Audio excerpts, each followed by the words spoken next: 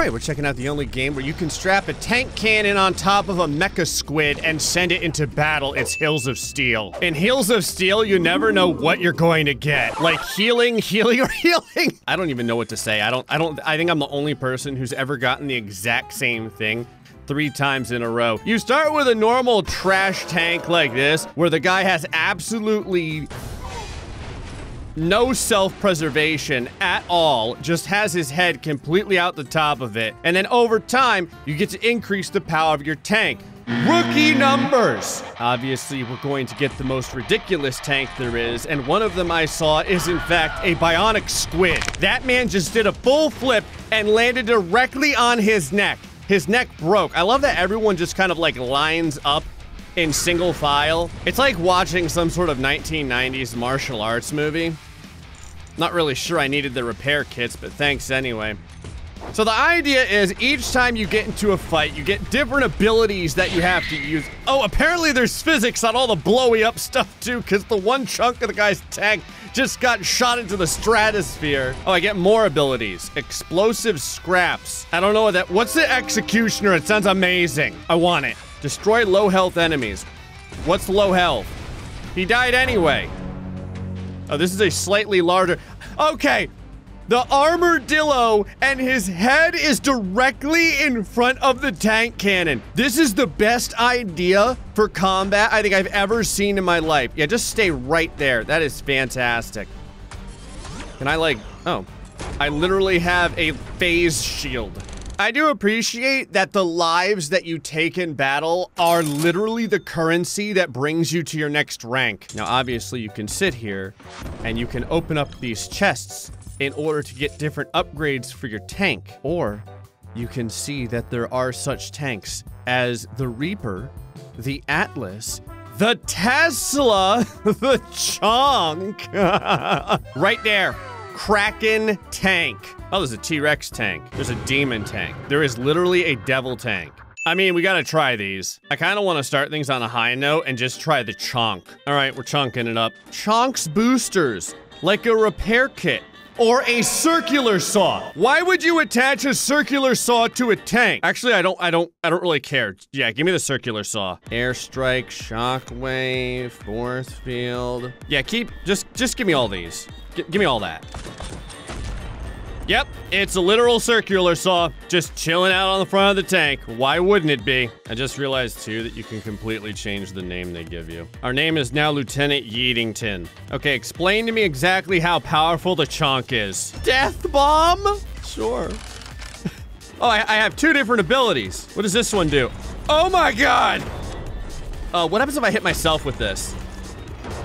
I'm desperately trying. Oh my god! Hold on. I love that you can just run into people. Oh, here we go, here we go. Ah, oh, it's almost, oh, it does hit you. Hey, where'd everyone else go? The chonk is hungry. Hungry for blood. I love that they are very safely delivering the payload of death upon you.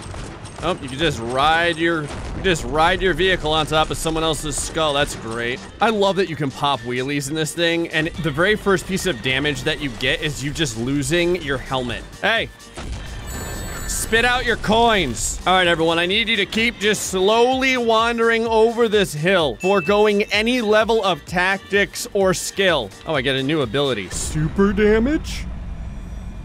Okay. I mean, I, I feel like I already dealt a lot of damage. Like, do I need more? God. Here, one shot, yeah. This doesn't really oh my- what is this? How come the guy's head is always in front of what is trying to murder me? Does he have absolutely no- Oh.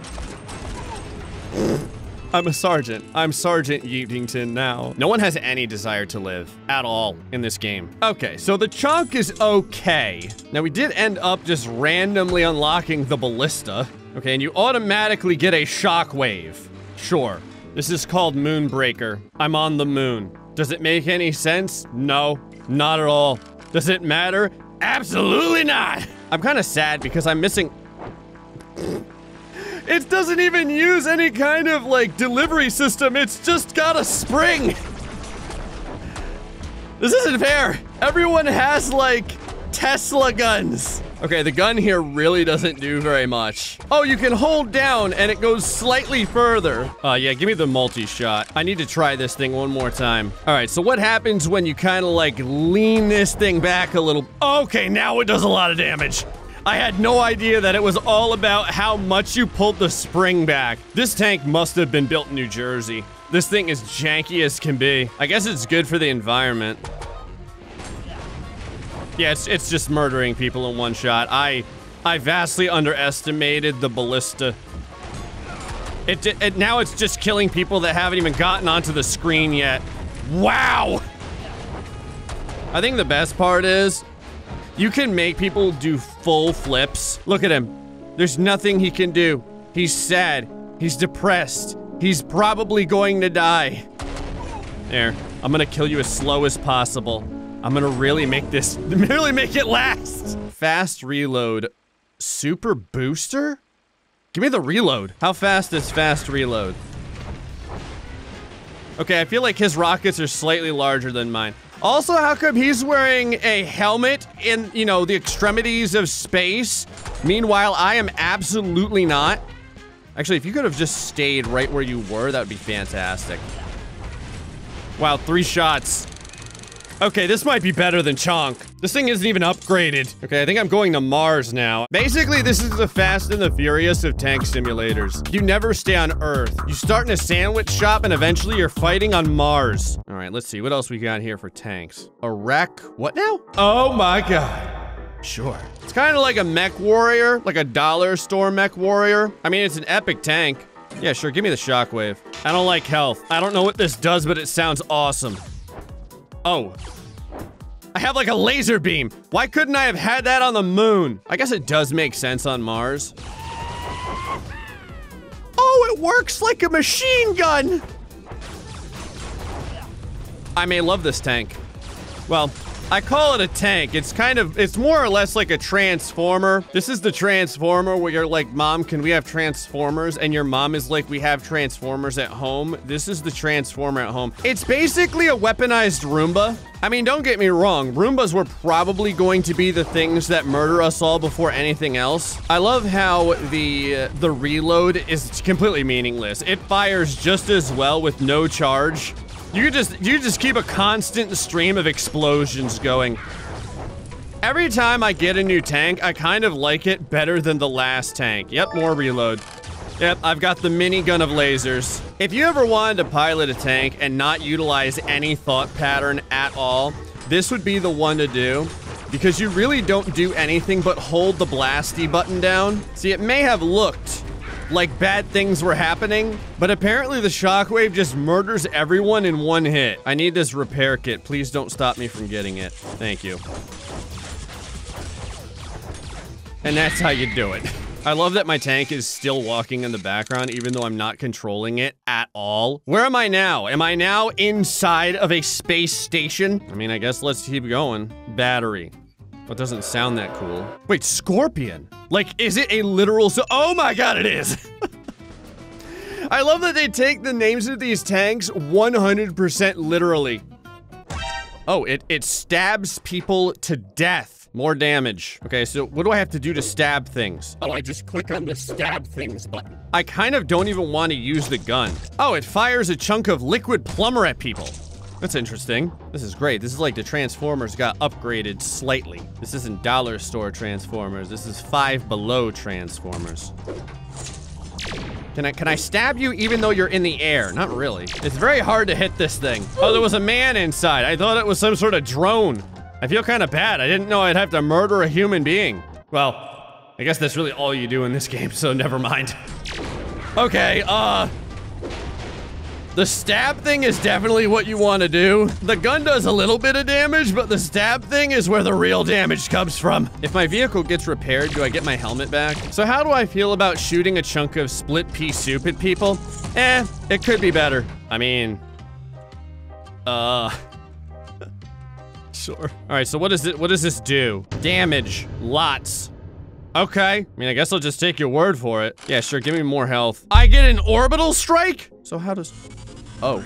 Oh my god. Oh, what? I'm, I'm like a Hydra. I have amazing tentacles that pull me around as well. If this thing isn't terrible, this may be my favorite vehicle so far. All right, orbital cannon.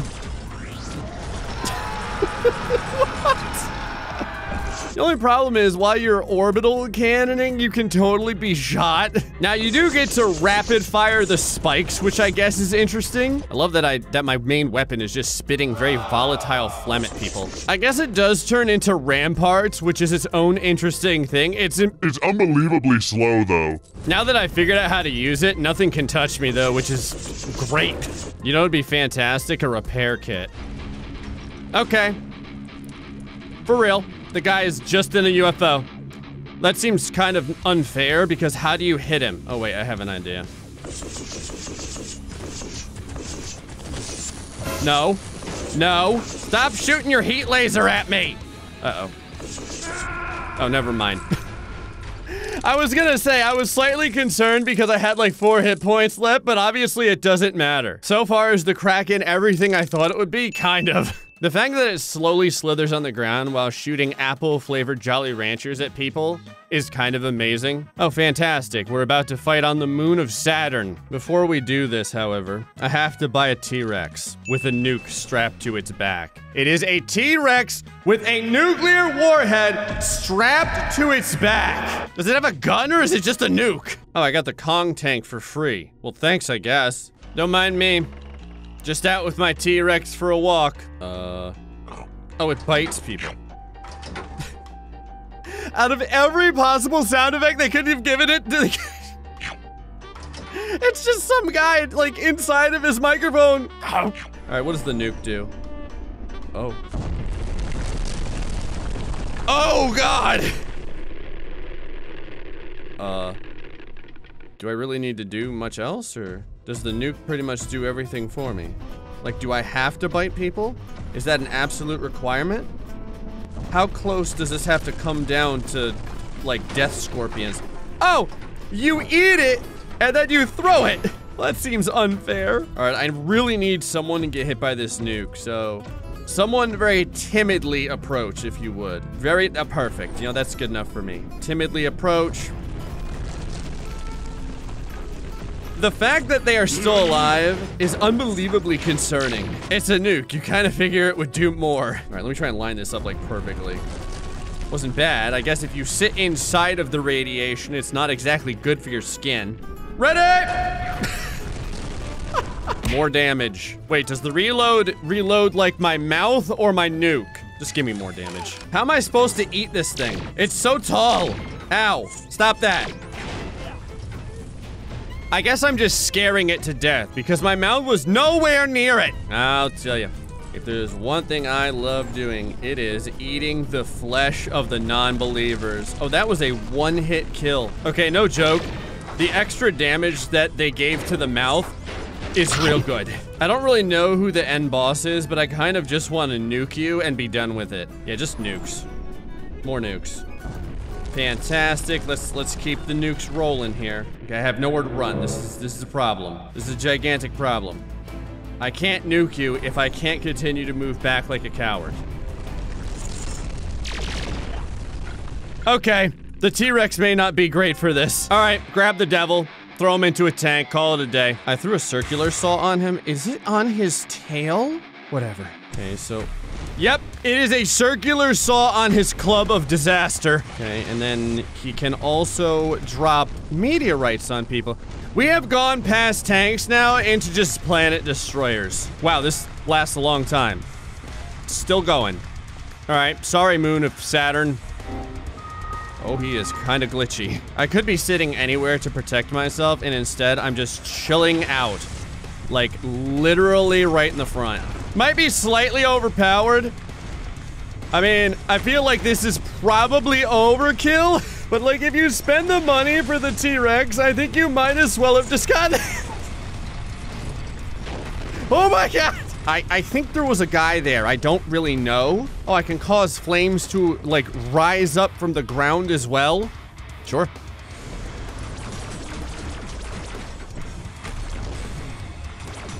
I feel like that didn't do enough to appease me. All right, Rainfire. Go ahead, Thanos them.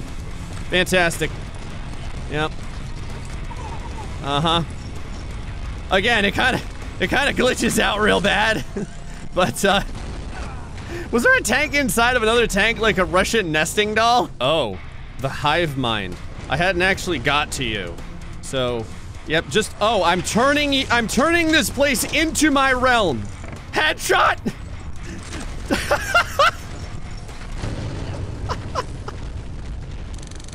this is the most ridiculous. Uh, I'm not wearing my helmet. Well, what started out as a tank game turned into the apocalypse simulator. Anyway, folks, hope you enjoyed this episode of Hills of Steel. Till next time, stay foxy and much love.